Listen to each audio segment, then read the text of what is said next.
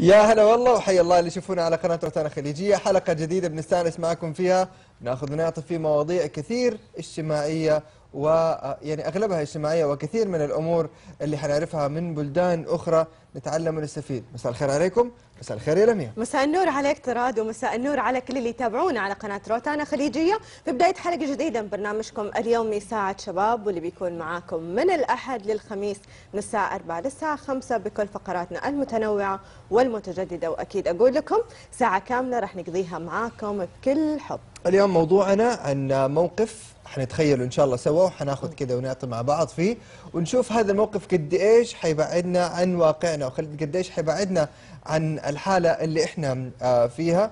ونشوف آه، يعني في ناس أوقات لما تحط في في في مواقف شوية صعبة تقوم تروح إكستريم وما تعتقد إنه هذا هذه الكرة ردة فعلها وهو أحد المواقف اللي الاجتماعية مع لما نصادف ناس تكون خلينا نقول أفكارها ومبادئها وطريقة تفكيرها مختلفة عننا كل الاختلاف. أكيد طبعا تراد وللأسف أنه بيصير كثير معانا بعض هذه المواقف اللي ممكن تأثر على حياتنا وممكن تكون لفترة من اللحظات فترات عابرة تكون في حياتنا وبعض الأحيان ممكن تستمر معانا هذه الفترات لمدة طويلة جدا. فنضطر هنا أنه نحاول نتكيف مع الوضع الجديد اللي ممكن يمر علينا في حياتنا. طبيعي. وهذا طبعا سؤالنا اللي كان آه، بالأمس في تويتر.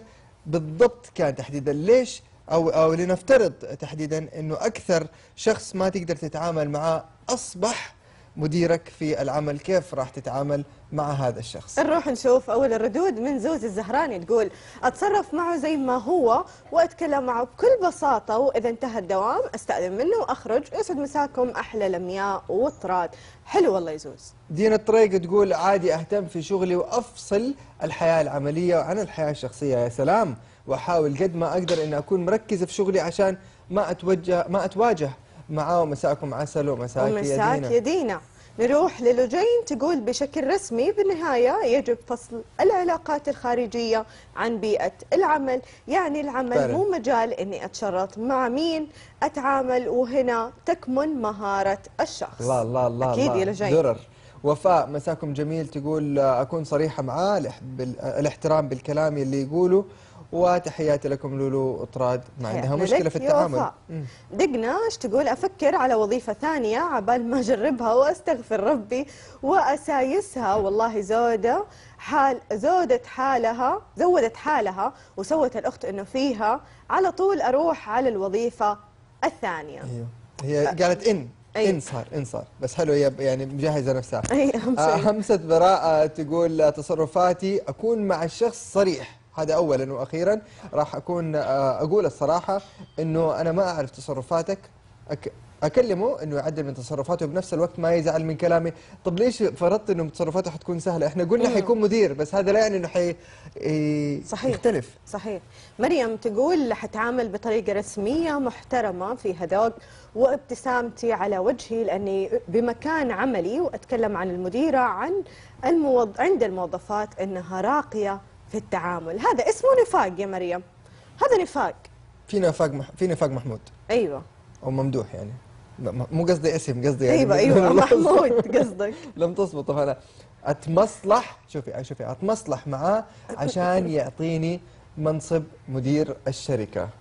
أنتم أنتم راضيين تفهموا في الحياة العاديه عشان يديك منصب مدير الشركة. يعني صراحة بشوف كثير من النفاق في بعض الردود بس في النهاية يعني راح نزعل كثير إنه الشخص الوحيد اللي ممكن يكون في العمل معانا هو الشخص الوحيد اللي ممكن ما نتفق معه فجأة يصير مديرك. طبعا أنا أقول لك حاجة خلينا نتكلم على نقطة ال- النفاق وال وال والمجاملة وبعدين نرجع نتكلم على أساس الموضوع. طيب عشان نبدأ نفصل أنا بالنسبة لي أوقات ما نعتبر أنا بالنسبة لي ما أعتبره نفاق. أوقات الكلمة يعني أعتبرها كلمة طيبة أو حتى مجاراة لأنه في بعض الشخصيات في حياتنا ما نقدر إنه إحنا نواجههم بالحقيقة. شخصياتهم في في اختلاف فكري يعني يعني هو من بيئة مختلفة هو تربى بطريقة مختلفة هو عنده معتقدات مختلفة. فيا إنها تتكامل يا إنه بلاش من المجاراة هذه لأنه ما منها فائده وحتسبب مشاكل. فأنا عشان أكتفي شر اللي قدامي بالنسبة لي حتى لو كان هو صح وأنا غلط أكتفي شر ال- ال- ال- المواجهة. أقوم زي ما يقولوا بالعامي أسلك له. حلو. بس في النهاية تصدق ترى دي تختلف باختلاف الشخصيات. طبعاً. يعني أنا أتوقع إنه كان ممكن تكون أغلب الردود إنه أنا راح أستقيل وأترك العمل. إذا أنا ماني مرتاح في المكان أو البيئة اللي أنا قاعدة أشتغل فيها so أنا في النهاية ما راح أنتج. لأني بكون متضايقة. في توتر في stress في نفس المكان اللي أنا بشتغل فيه. خصوصا لا ننسى إنه أوقات الدوام بنقضي أوقات طويلة فيها أكثر ما بنقضيها بالبيت. يعني البيت نخلي له ثلث الوقت للجلوس مع الأهل والثلث للنوم وثلاث أرباع يعني أو الثلث الثالث لل للدوام يعني يوم طويل. صحيح، فإذا. أنت حتكون في مكان ما أنت متوتر فيه متوتر فيه كثير سو ليش تنافق أو ليش تقول كلام زي ما بتقول إنه ال- الكلام الطيب أو الكلام؟ ما أنت مجبور ممكن تسكت على حسب الشخصية إذا كانت شخصية مثلا مسالمة ممكن يسكت ويقعد في مكانه وما يسوي شيء ولا يتكلم معه ولا يحاول إنه يكون في بينهم أي مواجهات فإذا صح. كان شخصية ما تتحمل أو عصبية صدقني ما راح يكمل وراح يتعب وراح على طول يقدم استقالته وربي يرزقه إن شاء الله بالنهاية وهي في الأخير أيوه هي يعني مراحل فصل. وفي الأخير مكان عمل إحنا صحيح. نكمل ردود وحنرجع لنقطة آه، استقيل ولا ما استقيل أوكي عهد. إيش تقول؟ وين الاستقالة يا ولد؟ وتحياتي لك. الله عليك يا عهد على لساني. هو شوف إيش قلت الله لي؟ عليك يا إيش عهد قلت لك حلو.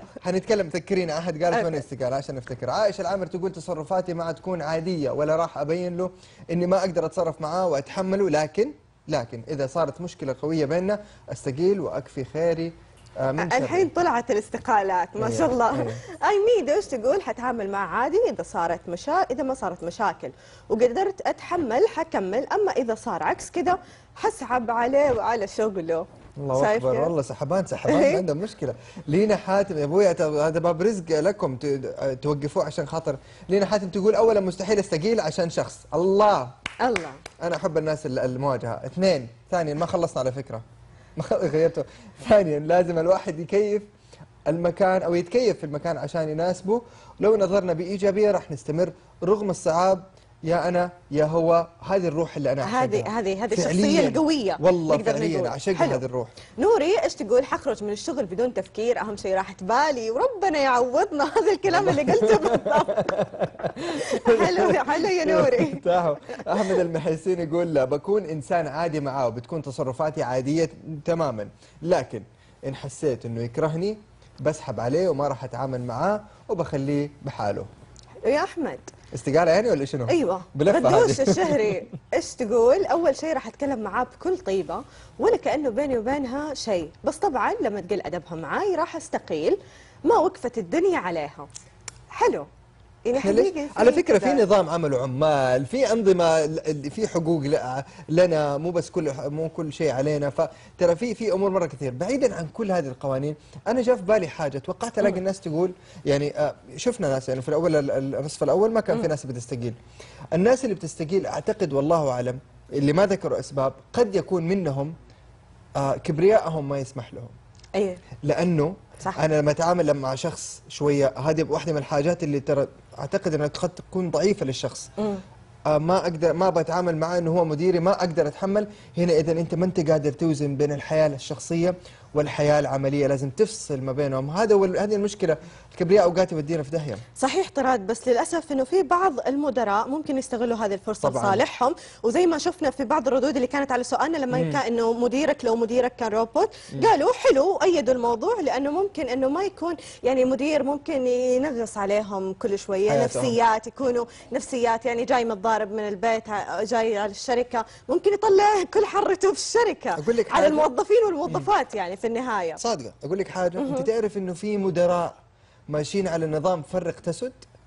والله. yes. عشان إيش؟ لا وإيه؟ لا واخدين منطلق إنه ليتنافسوا. عشان إيش؟ الشركة تطلع ويتنافسوا. لا حبيبي غلط. صح. مو مع كل الشخصيات. لأنه طريقة فرق تسد آه هذه أنت ما حتقدر يعني okay ممكن تستمر لفترة معينة لكن ما حتنجز. واحد. اثنين لو أنت عملت بينهم مشاكل عشان تخليهم يتنافسوا مو كلهم حيجاوبوا معك لأنه في البعض حيعتبرها تحطيم.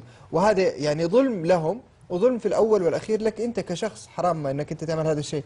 فكمدراء يعني إحنا ما بنحط عليكم بس يعني هذا واقع بنعيشه تحية للمدراء المنصفين. صحيح وأنا صراحة مرة أشيد بالمقولة اللي قلتها قبل كم يوم عن إنه خافوا الله في موظفينكم أو في التعامل خصوصا اللي مناصبهم جدا عالية تكون عندهم مسؤولية جدا كبيرة لازم يكونوا منصفين جدا في شغلهم وبالتفريق بين الشغل والحياة الزوجية أو الحياة اللي عايشينها في حياتهم. كملوا نقاش في الفاصل لأنه حقيقه نب- نباكم تخوضوا في هذه التجربة الفكرية بينكم وبين نفسكم إنكم تتخيلوا لو كان الشخص اللي ما تحب تتعامل أو ما تقدر تتعامل معه. آه صار مديرك في يوم من الأيام. إيش راح تسوي؟ أنا صراحة راح؟ أستقيل والله. لا. بس خلينا نطلع فاصل لم وأقول لك ليش. توقعتك والله تكون لا لا لا لا أنا ما أقدر أنافق ولا أقدر أجامل في حياتي سبحان ابدا. الله. يعني فما راح خلاص يعني أنا أقدر. أنافق. لا ممكن تقدر تجامل طراد ممكن بس أقدر. أنا ما الله أقدر. عليك الله. عليك. ضبطتها يلا. عموما. صح عليك بعد الفاصل حتكون ساعة شباب راجعين لا تروحوا بعيد.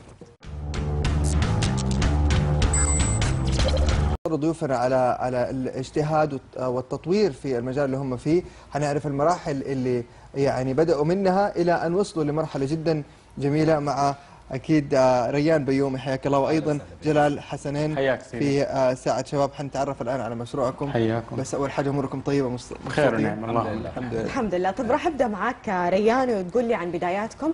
كانت عن طريق تمويل الحفلات والمناسبات والإيفنتات الخاصة. فكيف تطور المشروع وقدرتوا أنكم توصلوا وتتوسعوا في هذا المجال بشكل أكبر؟ طيب آه، أول شيء أهلا وسهلا بالسادة الحضور آه، بالسادة المشاهدين أكيد وبيكم.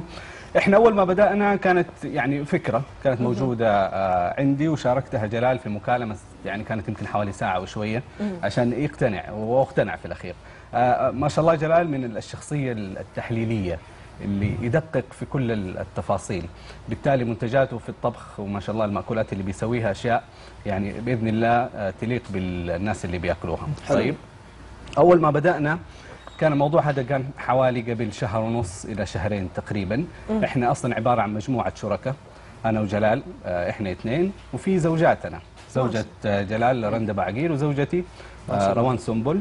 هم الاثنين بيساعدونا في موضوع التحضير والتقطيع قبل ما ننزل جنود أي مناسبة. هم إيه. اللي يدفعوا إيه. ال- المقدمة سبحان الله. بالضبط.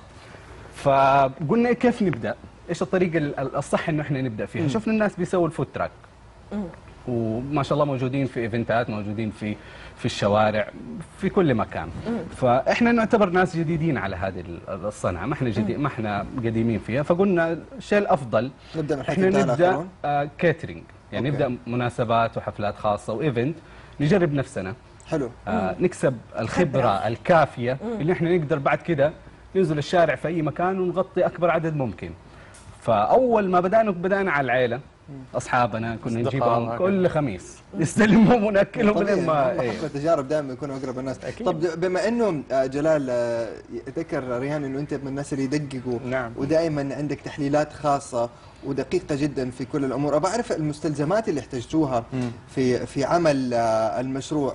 يعني كيف قدرت إنك أنت أنا أعرف أنا أعرف ناس كثير زي كذا يدققوا أو حريصين أكيد. وأنا ممكن ممكن اتصنف من هذول الناس أعرف قديش بيتعبوا بس عشان يختاروا الشيء الصحيح اللي يتناسب مع صح. مشروعهم قديش اخذ منك وايش إيش سويت؟ والله أخذت مننا فترة طويلة. أصلا آه، قبل ما ندخل في المشروع ده أنا عندي أصلا passion عندي شغف في الطبخ من زمان. آه سواء كان للعائله لاصدقائي كل خميس أنا طبعا بطبخ للشباب وما أعرف إيش على نطاق آه، صغير. يعني ما هو ما هو شيء. وأحب الشيء ده جدا. فلما كلمني ريان طبعا آه، حبيت الفكرة جدا وكنت بدور على أحد إنه يدخل معي. مزاجك ومجالك. أيوه. سبحان الله ريان جاني من من ربنا. ف وطبعا المنتجات اللي أنا أسويها أو الأطباق اللي أنا أسويها أشياء أنا أسويها من زمان. و already مجرب فيها كثير. فأنت الأدوات والمعدات فبالنسبه لك هذه كانت بسيطة أو ما تعبت فيها كثير؟ لا م... هذا توفيرها كانت كلها موجودة عندكم ما تعبتوا في توفيرها. لا في أشياء اضطرينا ان إحنا نجيب موردين. استيراد. لا ما هو استيراد. كلها موردين محليين. ممتاز. ولكن آه في منهم ممكن بيجيبوا من برا ومنهم بيستوردوا. بس أنا المورد اللي, بست... بنجيب منه المنتجات محلي. حقتنا كلها محلية. حلو حلو. حلو. بالإضافة لنقطة عفوا. إنه الموردين اللي بيتعامل معاهم مش أي موردين. موردين بيقدموا لمطاعم عالمية brand عالمية هنا ممتاز. موجودة في ال- في السعودية وإحنا بناخذ من نفس المورد عشان نضمن ياخذ الجودة. على جودة يعني. يعني أهم بالضبط. شيء إيه. ال high quality في النهاية. طب ريان خليني أسألك كان بداية مشروعكم إنكم توصلوا لل food truck ولين الحين أنتم شايفين إنه لسه يعني بداية مشواركم كانت لكم شهر ونص في هذا المجال. حابين إنكم تتطوروا أكثر وتوصلوا لمشروع food truck تقدموا فيه وتغطوا فيه أكبر كمية من آه، الشخصيات أو الناس. فمتى حابين إنكم توصلوا لهذا هذه الخطوة؟ والله يعني قريبا بإذن الله. يعني بإذن الله خلال الشهرين القادمة أو ثلاث شهور بالكثير آه حيكون ال truck بإذن الله موجودة. آه إحنا حاليا الآن مركزين على موضوع ال event.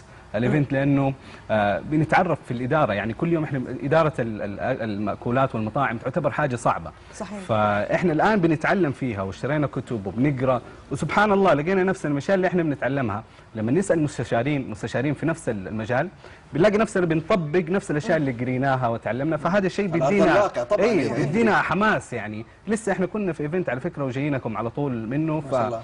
يعني ما شاء الله الحمد لله حلو شيء جميل جدا طب يعني بما إنه يعني ال- ال food trucks ما شاء الله أصبحت يعني مليانة وكل واحد بيحاول يتميز.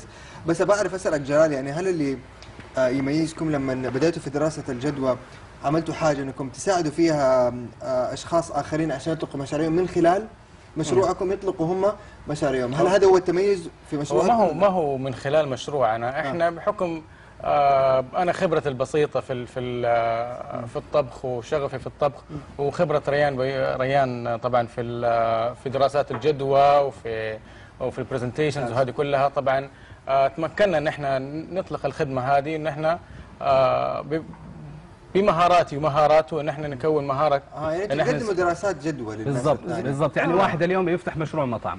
ما ما عنده مثلا ما هو عارف كيف يسوي الوصفة ما هو عارف كيف يسوي دراسة الجدوى. فبما إنه هذه المهارات موجودة عندنا كشيف ممكن يسوي وصفة ويعني أنا أقدر اعد دراسات الجدوى. جدوى. فهذه خدمة برضو بنقدمها للشباب. ليش؟ طبعاً. إحنا اليوم طالعين شباب كلنا مع بعض في إعادة تحول للمطاعم. طبعاً. يعني معليش حقونا مشويات حقونا ال- ال- المأكولات ال- المعروفة الذبايح اللي بتقدم في عزايم. هذه نوعا ما بدأت تقل. ففي إعادة تحول بتحصل وأنتم بتلاحظوها أكيد يعني. آه، حبة حبة مع إعادة التحول هذا إحنا كلنا شباب بننطلق مع بعض. فلازم إحنا نساعد ناس ناس يساعدوني خطوة نستشير ناس ناس يستشيرونا بالضبط. يبغى لها يعني جميل. كثير من أصحاب المشاريع لا يقولوا نحن نحب نحتفظ بخلطاتنا ودراساتنا لنفسنا وما نرجح أحد غيرنا خصوصا في هذا المجال خصوصا لا. إذا كانوا في نفس المجال يكون في منافسة بالعكس جدا عالية. إحنا إحنا نفسنا ناس كثير ساعدونا. يعني إحنا طبعا آه، آه، م- ما إحنا مولودين علماء ولكن إحنا تعلمنا من ناس ثانيين. في ناس كثير ساعدونا جزاهم الله خير واعطونا لي جلال واخص بالذكر مصعب حليم مصعب حليم من الناس اللي وقفوا معانا في البداية جداً. وساعدونا ولازم اشكره وأديله تحية على. أكيد نوجه له تحية. طب خليني أسألك يا ريان يعني كل مشروع مبتدئ يعني لازم يكون في تطوير كثير عشان يطلع بشكل تصاعدي. فإيش نبغى نعرف؟ يعني كيف تقدروا تقيموا مشاركتكم في الفعاليات حاليا؟ هل في آه، آه، إرضاء للجمهور اللي بياكل من عندكم؟ في تعليقات جميلة بتجيكم؟ طيب. مستمرين؟ ولا في ممكن أنتم تضيفوا أشياء جديدة لتطوير هذا المشروع؟ طيب آه هو نقطة ممتاز بالنسبة لنا إحنا نقيم نفسنا يعني صعب الواحد هو يقدر يقيم نفسه كثير يعني ما ما أقدر أقول لك والله أنا ممتاز ع- مرة مثلا لا. أنا إيش اللي يبان عندي؟ حلو. ردود ردود الأفعال في ال social media الحمد لله واضحة. آه عندنا sold out كل مرة بنطلع الحمد لله. sold out. آه بننتهي. آه غير كده الناس بدأوا يطلبونا في أكثر في مناسبات وحفلات خاصة. اليوم كنا في جامعة عفت الأسبوع الجاي آه يوم الجمعة في بسطة ماركت. الأسبوع الجاي برضو عندنا حوالي ثلاث أربع مناسبات. ف كثرة المناسبات ورا بعض والناس بيتصلوا بنا وفي تواصل كثير بيصير من خلال آه تحديدا الانستغرام حقنا. آه لو كتبتوا Road Bite في, ال- في الانستغرام بيطلع لكم على طول. آه بتشوفوا Road؟ التفا Road Bite Road Bite okay اللي هي لقمة الطريق. لقمة لقمة على الطريق.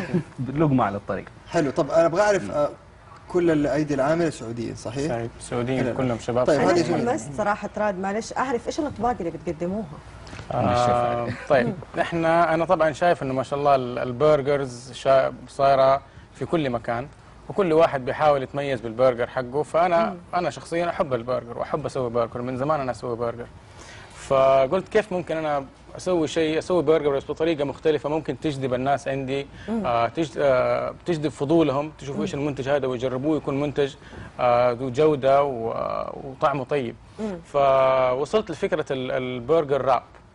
بدل البرجر اللي هو يكون بن البن من فوق العيش اللي هو أيوة. المعتاد بعمله بعيش ال tortilla وبيتلف بطريقة بحيث إنه يطلع زي. إيه. بيطلع زي النجمه كده حاجة كده بيسمينها آه بوكشه okay ي- يت- يت- يتطبق. يت- يتطبق ويطلع شكله زي النجمه إلى حد ما. وينحط على الصاج ويت- ويتسخن ويصير شكله كده. سمبوسه كبيرة. ممكن ممكن نسميها سمبوسه يعني كبيرة بس؟ تعرفوا ذا فودز حساب ذا فودز من أشهر الحسابات في هذا. آه، جونا مثلا على موقعنا وسموها بوكشه البوكشه صاروا الناس كلهم يجونا يقولوا ودونا من. من البوكشه اللي أنتم بتسووها. فكروا يعني. تغيروا اسم سموه بوكشه بوكشه ممكن. برجر ما تعرفوا بوكشة طب برجر. أبغى أعرف عندي سؤال مرة مهم. بس البرجر اللي بتقدمه لا, لا، لا. وفي عندنا chicken wrap برضو. آه معمول أنا بسوي الخلطة حقته مع الصوص حقه برضو معمول عندنا بس البرجر هو اللي بيكون رائج أكثر شيء. أبغى أعرف بس يعني وجهه كل نظر كل شخص فيكم يعني ك- في بيشتغل في هذا المشروع. كثير يعني صارت مشاريع البرجر وصارت صح. موجودة في كل صح. حتى في الت- التركات اللي مثلا بيبيعوا حاجة ثانية يقول لك حط برجر, برجر مثلا. صح. صح. كيف آه، البرجر إيش- منتج مطلوب. طب إيش إيش حتسووا؟ عشان يعني يعني ما حسيتوا إنه أنتم ممكن تكونوا مستهلكين لل- للفكرة لا مو هو هنا. إحنا بما إنه البرجر منتج مطلوب وصحن وطبق مطلوب في كل مكان كل الطبقات تاكله فما عندنا مشكلة. إحنا ننزل بيه لأنه عارفين إنه عليه طلب. however إحنا بنسوي تجارب إلى الآن. في كل ما إحنا بن بنسوي تطوير على على المنتج وعندنا منتجات ثانية بنطورها وبنحاول إن إحنا ننزل بها من- بمنتجات جديدة ولكن صحيح. لسه ما نزلت طور طور التطوير وزي ما قال لك متأكد انه من التطوير لما انك انت إنسان تدقق زي, زي ما. قال لك إنه تحليلي فالمنتج ما بينزل إلا وإحنا متأكدين منه صحيح. 100% صحيح ونقطة ريان. ثانية عفوا. إنه ال- البرجر حقنا مو زي أي برجر، يعني أي. انت لما تشوفيه ما الناس يقولوا إيش هذا؟ ما ما يعرف إنه هو برجر، الفكرة إنه نفس ال... هو لحمة برجر أيوة. صح؟ لكن العيش جدا مختلف حلو. أيوه. طب بسألك ريان يعني في كثير من الشخصيات جات وجربت البرجر حقكم ومنهم الشيخ صالح كامل صحيح. حكينا عن هذا الموقف؟ الشيخ صالح كامل جانا يوم ما جاء برضو معالي وزير ال- ال- التجارة على بسطة ماركت. وحضروا هم الاثنين وأكلوا من أكلنا اللي سويناه وعجبهم جدا ال- الأكل ال quality. ال quality والأكل. وهذا كان يعني فخر كبير لينا. إنه واحد ما, في ما شاء الله زي الشيخ صالح كامل أو زي معالي وزير ال- ال- التجارة آه، يشيد ويحمسك آه، بين ال- ال- الحضور ويعني هذه يدينا دافع كبير حلو. جدا طبعاً، يعني طبعاً. للأمانة. نحن تحمسنا ندوق البرجر. حقيقة ما تحمست راد طبعا. حياكم يعني عندنا في أي حقيقة وقت. تحمسنا ندوق البرجر. يعني خصوصا يعني كثير من الناس ما يحبوا البرجر اللي فيه عيش كثير. صح. أنتوا بالضبط. وأنا منهم. أنا واحد من أنا هذول. فأنا منهم. فشيء جديد وخصوصا الخلطات الجديدة. يعني حنطلب ثلاثة. دحين منهم. نطلب بوكشه إحنا لازم. بوكش برجر بوكش إيه. أي. في عندنا منتجات ثانية. إحنا لسه بنشتغل فيها بنحضرها. انتهت تقريبا حوالي 85 90% تقريبا. ما زالت طور تطوير صح؟ 90% ولا أصبر عليه شوي. عادي تقدر تقول تبغى ما حد داري عادي ما عندك. مشكلة. وحتنزل إن شاء الله في ال- القريب العاجل. في القريب العاجل. إن شاء الله والله صرت أحس تراد انه نحن صرنا في عصر البرجر. أيوة. صاروا كل الناس خلاص صاروا صاروا حتى الأطفال ما بياكلوا إلا برجر. بعيدين عن الأشياء الصحية اللي ممكن ياكلوها كثير. فما حاولتوا إنكم تغيروا هذه الفكرة أو تغيروا هذه النظرة شوي في خلطاتكم؟ تضيفوا أشياء يكون صحية؟ برجر healthy يعني برجر صحي؟ برجر healthy أو ممكن تضيفوا أصناف ثانية لأطفال صحية. ممكن. إحنا ما زال بالذات أصناف الأطفال هي أحد الأصناف اللي ما زالت تحت تحت طور التطوير وال- والبحث. ممتاز. فلأنه أطفال كثيرة بيجونا مثلا يبغوا chicken nuggets يبغوا هذه. أنا أيوة. في نظري هذه الاشياء أنا مثلا بنتي ما أكلها chicken nuggets صحيح. ما أحب أكلها chicken nuggets ما هو شيء صحي فبحاول أطور شيء زي كذا مماثل للتشيكن مماثل ناجتس يعني. يناسب يناسب الأطفال ولكنه شيء صحي بمنتج آه، طبيعي جميل فهذه أحد الأشياء اللي إحنا بن- بنطور فيها إن يعني والله الله. سعيدين جدا بوجودكم اليوم ويعني والله إحنا نسعد و- افكار حلو الواحد يكون عنده فكرة جديدة. أهم شيء يطبقوا البوكشة عشان لا أحد يأخذها منكم. هذا أهم شيء. نسجلها علامة. جاريه لابد. أكيد. نقطة مهمة إنه إحنا موظفين كلنا أنا وجلال كلنا زوجاتنا كلنا موظفين. والحمد لله رغم إنه يعني الوقت ضيق لكن شهر ونص شهرين إحنا خطونا خطو- خطينا خطوات جدا سريعة الحمد لله ونمينا بشكل كبير ولله الحمد. وإن شاء الله الجاي أه، أحلى بإذن الله. وأكيد لكم التوفيق. ريان بيومي وأيضا جلال حسنين نتمنى لكم كل التوفيق شكراً في هذا لكم. المجال ونشكركم على تواجدكم اليوم معنا الشرف شباب. الله يعطيكم العافية. لكم. الله يعطيكم. العافية. شكرا لك. ما خلصنا حنكمل بعد الفاصل آه، في الأخبار والسوالف وكل جديد مع يا ولمياء في ساعة شباب راجعين.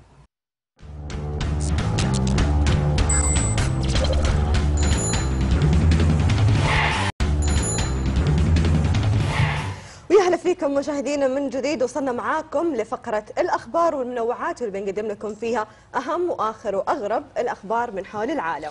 فعلا أغرب آه، وتحذير جديد من التحذيرات التكنولوجية واللي أعتقد حتكون تحذيرات عالمية الآن ولازم نحطها نصب عيننا. نحذر الآن من شحن هواتفنا بالمطارات أو بالمنافذ أو في المنافذ العامة. ليش؟ بالضبط شكرا لك. ليش؟ قلت لي ليش؟ مستني أحد يقول لي ليش. ليش؟ آه في في أسباب كثيرة. تعرفوا إنه أول شيء خليني أوضح لكم إنه في في المطارات آه زي البلوكات كده صغيرة عشان تشحنوا جوالاتكم. لما يكون ما في يكون عندكم السلك بس تشحنوه. أو حتى في منافذ عامة بشكل عام ممكن مو في السعودية لكن في دول دول ثانية موجودة. احذروا من إنكم تشحنوا هذا الأمر. ليش؟ لأنه قد تكون سبب في دخولهم دخول الناس اللي بيشحنوا جوالاتهم في مشاكل أمنية واجتماعية مستقبلا.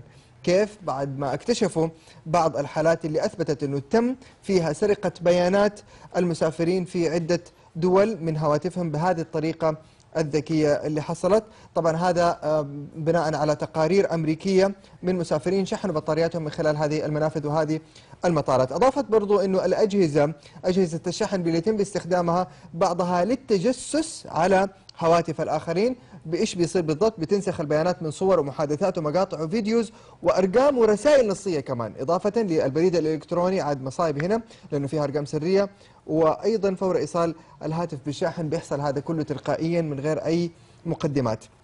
التقارير أضافت برضو أنه في 80% من المسافرين بيقوموا بشحن هواتفهم في المطارات والمنافذ العامة من غير ما يسألوا عن إمكانية اختراق أجهزتهم. بيشيروا برضو في هذا التقرير أنه أكثر الطرق أمانا هي شحن الهواتف عن طريق الشواحن الكهربائية والأفضل الاستخدام استخدام الشاحن الخاص فيك لأنه قد يكون موجود في شاحن صحيح لكن برضو يسحب البيانات. يعني أي شاحن كوبس آه، للشاحن حق الجوال ممكن تستخدمه لكن إذا في فتحة ال USB هذه بلاش منها لأنها كلها بتوصل ببعض. صحيح طبعا. تصدق ترى ما صدمت كنت والله. أعرف أنا أبداً. صدمت والله. ما كنت أعرف بس آه، بعد هذا الخبر أتوقع ان الجميع ينتبهوا خصوصا إذا تورطوا في الشواحن. جيبوا لكم ال power bank خلوه معاكم في كل مكان خصوصا أوقات السفر. أتوقع يحتاجوها كثير. يكفينا. ده نخلص وننسى نشحن ويفضل على الفاضي على الجنب. من جد. بس يبغى عموما خلونا نروح لخبرنا الثاني الموجود معي اليوم. الثاني.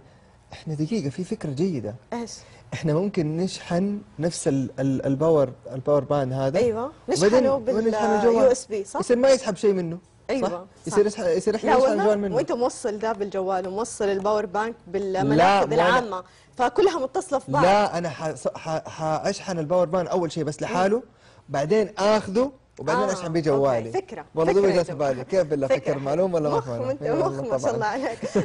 نروح للخبر الثاني. درس لملاكم مغرور. أتوقع إنه ما راح ينسى طول حياته هذا الدرس واللي وصفوه دفع الغرور ملاكم في أثناء المعركة داخل الحلبة مع منافسه قام بأداء رقص. كأنه قاعد يتظاهر كذا إنه أنت يعني ماني خايف منك وأنت الحين حنشوف بعض أنت. أي بالفيديو. فكان الرد درس قاسي جدا. أتوقع ما راح ينساه طول حياته. شوف الرقصة هذه الرقصة. راح طا واحد على راسه. لا. نساه العالم كلها وفي النهاية فاز. أيوه تخيل إنه بسبب استهزاء فيا جماعة بعد اليوم لا تستهزئوا بأحد ابدا. يقول لك. نشرت لقطات لملاكم. إيه. كان بيرقص داخل الحلبة خلال المباراة من أعنف فنون القتال في العالم وما أثار غضب منافسه وركله في رأسه أوه. على طول وطبعا الملاكم قرر تقديم. فقرة الرقص للجمهور بعيدا عن منافسه لكن الأخير أي المنافس انتهز هذه الفرصة وركله في رأسه بعد كذا. طبعا زي ما إحنا شايفين سقط اللاعب المغرور على الأرض وخسر هذه المعركة في النهاية. وأتوقع أنه تعلم درس جدا قاسي وما راح يستهزئ بأحد في يوم من الأيام. حلو خلي ال break dance ينفعك. عموما إحنا نعيش ونشوف حقيقة. الله لا ترى. ما عندي مواهب مكمونة مك- مكاملة. أوه الله okay مواهب كاملة. بس أنا أقول لك حاجة. لكل مقام مقال على فكرة. أيوه يعني يعني إيش كان يفكر وقتها؟ إيه بس اللي يستهزئ كان بيستعرض، يستهزئ كان بيستعرض. فوز وبعدين استهزئ أي. زي ما تبغى. مو دائما. العجلة من الندامة يا جماعة. إي والله الواحد يستعجل في القرارات. عموما في قرارات كثيرة إحنا بنشوفها في حياتنا بنستغرب. وفي حاجات أيضا مواضيع يعني بنقول هذا معقول ولا مو معقول. زي خبر اللي عندنا اليوم يقول لك لأول مرة في تاريخ البشرية سيدة تمسك قلبها بيدها. أتذكرت. Snow White الشريره اللي تاخذ قلب هذا ما أعرف ليش بس هذا هذا حصل حقيقي مو في Snow White ولا في أي مكان ثاني يقول لك أمسكت سيدة أمريكية من ولاية نيوجيرسي بقلبها بعد أن نجح الأطباء في عملية استئصاله ثم زرعت قلب آخر جديد آه، مكانه ليلقي الأطباء بقلبها المريض التالف بين يديها بعد أن استفاقت من العملية الناجحة فالتقطت صورة تذكارية مع قلبها القديم في حادثة. طبعا إحنا شايفين الآن هذه الصورة غير مسبوقة بالعالم. ليزا سالبرغ تخلصت أخيرا من قلبها المريض. كانت تعاني منه تقريبا استمر يعني المرضى المستعصي قلبها 36 سنة وهو ينهش في آه، جسدها. طلبت برضو ليزا من الأطباء شيء واحد قبل ما تدخل العملية إنه تحتفظ بقلبها المريض. آه ويعني عشان وقت ما تصحى من من. من العملية بإذن تتصور الله معاه. تتصور معه. يعني هذه ما فيها استعجال في القرارات هي قالت لو لو نجحت العملية امسك قلبي. لا رقصت من قبلها ولا أي حاجة. طبعا بمجرد ما استيقظت استلمت قلبها وكانت سعيدة زي ما إحنا شايفين. آه بتقول ليزا في نفس الخبر إنه أدهشني كثافة القلب ووزنه. حيث أنه حقا ثقيل جدا وأضافت وهي تتحدث عن قلبها المريض اللي تم استئصاله من بين صدرها إنه كنا أصدقاء طوال 48 عام الماضية. كانت هذه آخر كلمات قالتها لقلبها القديم يعني حلو صراحة المشاعر من أوقات. جد من أكثر يعني الأخبار المؤثرة قريت عنها كثير وأصبحت لأول مرة وصارت لأول مرة في تاريخ البشرية أنه إنسان يمسك قلبه حقيقي يعني نعيش ونشوف في النهاية ما أعرف إيش راح يصير عموما نروح لخبري الأخير وتستمر أي خلاص ما نجحت. أنت ليش كل ما أبغى أقول خبري خبري تروح تقطعني أنا ليش؟ ما قصدي شيء فكرة. ليش؟ قول قصدي. بسرعة بسرعة قبل ما أقول الخبر خلاص قول آسف. عنود خلاص قول آسف خلاص أنا آسف قول آسف. خلاص قلت طيب. لا لا. آسف على فكرة آسف أنا ما غلط ترى. أنا آسف هذه عشان المتابعين ترى مو عشان لا شيء. عشان أنت قاعد تقطعني طلعت كل ما أقول ما. قطعت. خلاص حروح أقول خبري. عموما مشاهدينا المنافسة تستمر بين مواقع التواصل الاجتماعي شفنا تحديثات بتصير جديدة من واتساب لسناب شات لإنستغرام لفيسبوك ولكن أخيرا واتساب أطلق ميزة جديدة تشابه جدا السناب شات واللي قرر إطلاقه. أعلن واتساب بشكل رسمي عن إطلاق ميزة جديدة تشبه الموجودة في تطبيق ميزة جديدة؟ سناب شات. ميسا ميزة. وليست ميسا أعتذر يا جماعة. أطلق عليها اسم حالة واتساب واتساب status اللي كلنا عارفينها. طبعا تتيح الميزة الجديدة لمستخدمي التطبيق مشاركة الصور ومقاطع الفيديو والكتابة والرسومات والملصقات والرموز التعبيرية وغيرها من مع الأصدقاء كما في سناب شات. وأيضا أوضح التطبيق إنه بات في إمكان المستخدم اختيار من يشاهدها يشاركوا كل الأصدقاء أو بعضهم يعني تحددوا وتخصصوا زي في سناب شات على أن تتاح الخدمة لجميع المستخدمين. وعددهم أكثر من 1.2 مليار مستخدم على اندرويد وآي أو إس طبعا بدءا من اليوم فلا أوصيكم يعني واتساب يرجع للمنافسة القوية بعد ما سناب شات كان متصدر يلا بس الواتساب خلصت خبري بس الواتساب لا أنا أتكلم وقت ما لا، أبغى خلاص. لا أنا أتكلم وقت لا، ما أبغى خلصت خبر. وأقطع وقت ما أبغى ترى أنا جاملتك في البداية براحتي دحين طيب. عادي. بس أنا أقول لك ترى واتساب آه، ما يتقارن بسناب شات ليه؟ لأنه واتساب يعني ما في الخواص ال- الخطيرة اللي فيها فلاتر ولا شيء. واتساب في الأخير تواصل بال بال بالرقم يعني مو شيء. أما سناب شات تحسه يعني ما هو ما هو رسمي. ما حتى ما تعطيه حتى اللي يخاطبني في سناب شات يخاطبني عشان موضوع هرجت فيه عشان سالفة مثلا أتحدث فيها أو أو فلتر معين. لكل مقام مقال صح؟ أيوه هو إيش هو؟ لكل مقام مقال بالضبط لكل مقام مقال هذا اللي بقوله. بس إنه في الأخير آه يعني هو الواحد إحنا المستفيد في الأخير إحنا كمست- كمستفيدين. لازم نفرق. وفي الأول والأخير آه التشابهات هذه آه لما بنشوفها في في بعض التطبيقات أوقات بنقول يعني آه ليش ليش بيسووا ال- التطبيق؟ أو ليش بيسووا خلينا نقول لكم الزيادات هذه. دائما الواحد يفكر. في الأخير الشركات تتعب وإحنا نستأنس. صح. خلصنا؟ يلا نطلع فاصل. فاصل يلا. مشاهدينا مكملين بفقراتنا مع آخر فقراتنا لهذا اليوم. حنطلع فاصل قصير نرجع لكم بعد الفاصل.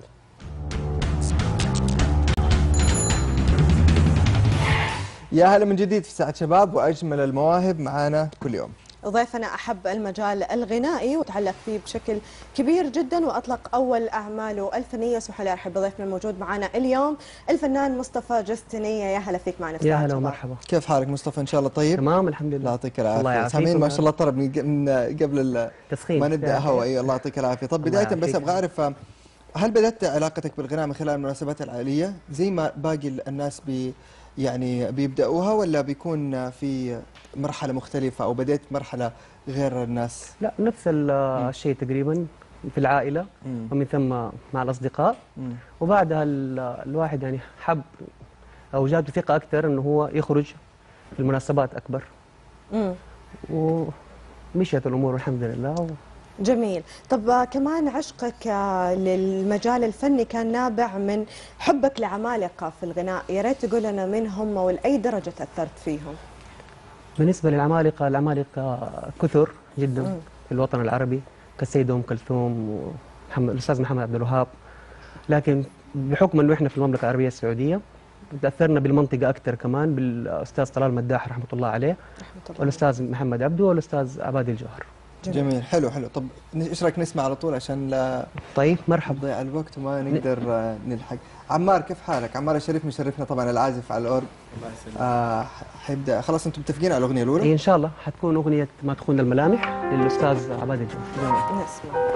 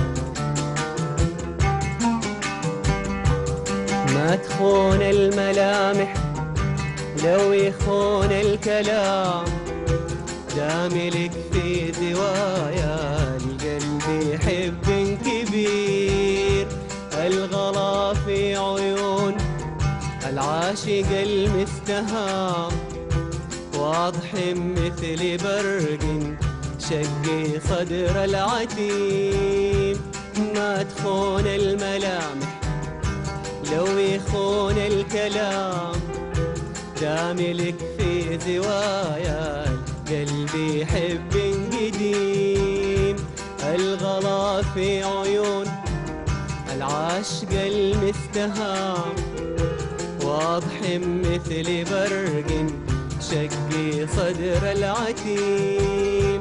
ما خشيت المعاني لو لحقني الملام. ميري ما شفت معانا في وصوفك قليل. العافية. يعطيك العافية. سلمت الله والله. طيب أبغى أعرف أول عمل قدمته آه آه يعني مصطفى آه، كان اسمه ما عندي إلا انت بس أبغى أعرف مع مين كان هذا التعاون في العمل وكيف آه، مستوى الألحان والكلمات. تعرف أول أعمال الواحد يقعد يدقق عشان صحيح. يظهر أفضل شيء عنده. صحيح صحيح. بالنسبة للعمل الأول كان في تعاون مع الشاعر خالد الغامدي والملحن الفنان وفي نفس الوقت يعني في مقام الأخ الأستاذ مروان فقيه فالحمد لله كان طبعا بتوزيع الأستاذ منتصر محمد علي. قد إيش أخذ منك عشان تنتجه؟ تقريبا أربع أشهر. أربعة أشهر جميل. حلو. طب بسألك يعني قرار خوض تجربة الغناء آه، ما كان صعب بالنسبة لك خاصة في الفترة الحالية في وجود كثير من الأصوات الشابة اللي ممكن تكون منافسة لك ولا أنت ممكن يكون تميزك لأنك اخترت خط ولون غير الموجود حاليا في الساحة الفنية؟ هو الفن واحد ما يعني ما فيش لون أو خط يعني لكن زي ما يقولوا بالعكس لما يكون في منا- منافسه أكثر والشباب أكثر بالعكس هذا يكون دافع إنه الواحد يحاول يقدم الستايل الخاص به جدا. والتوفيق إن شاء الله يحالف الجميع.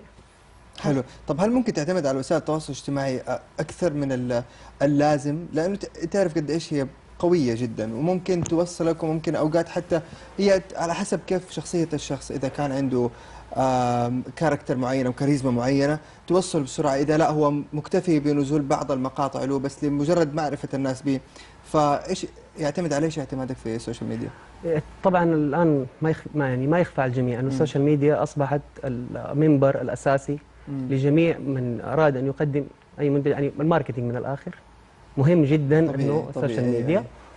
ف اللهم صل على سيدنا الصلاة والسلام. محمد يعني من ناحية السوقية أنا أتكلم أنت قلت نعم. لي من ناحية السوقية بس بتعتمد على إيش أكثر؟ هل في أمور أو طرق ثانية بتعتمد عليها غير لا ال social طبعا ميديا؟ مثل ال- باقي الفنانين ال social media جميل أهم شيء. طب إيش راح تسمعنا مصطفى؟ آه، سمعكم ما عندي إلا أنت يعني نس- ذكرنا سيرتها الآن نسمعها يلا حلو هيا حبيبنا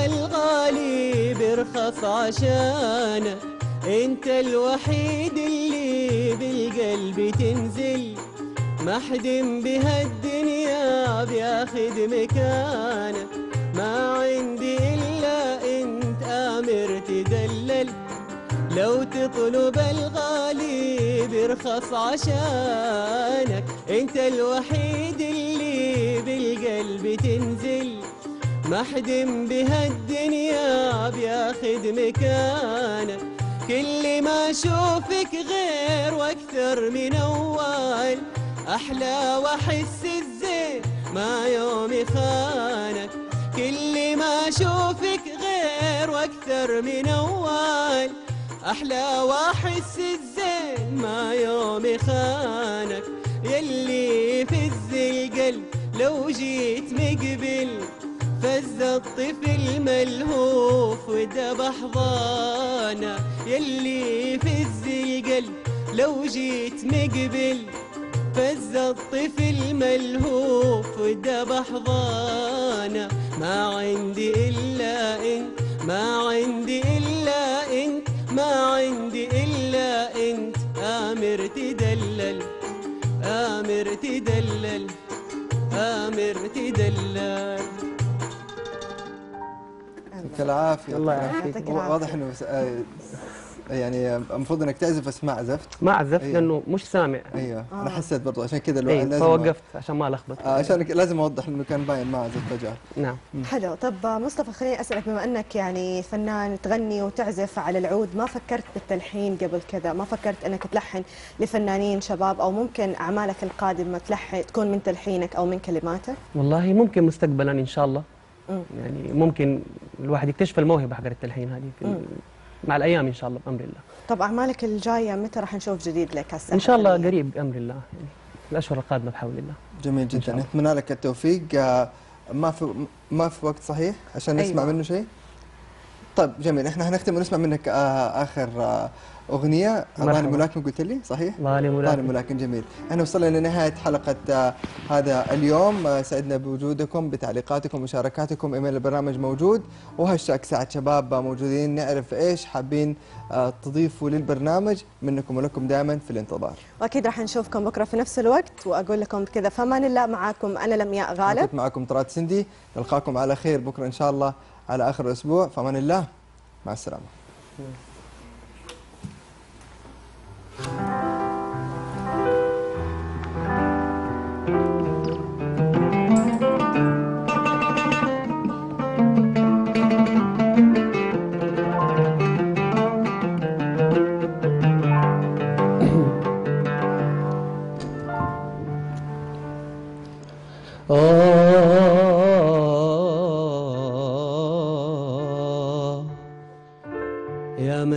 الحلا وحلو التثني.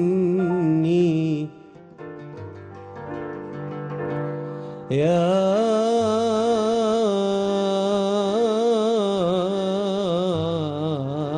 مليح الحلا وحلو التثني وجميلا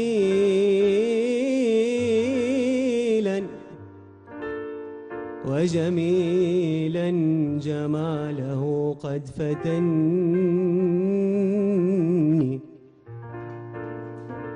بالصفا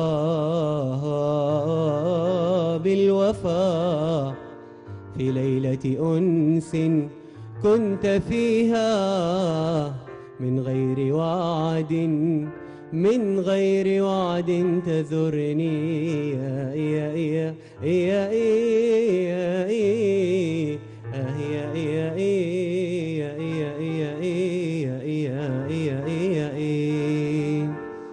ظالم ولكن في القلب لسه هوى. ظالم ولكن في القلب لسه هوى. كم قلت بكرة يحن ألقى يزيد في جفا كم قلت بكرة يحن ألقى يزيد في جفا ينسى الهوى ينسى. قولوا له ليه ينسى ينسى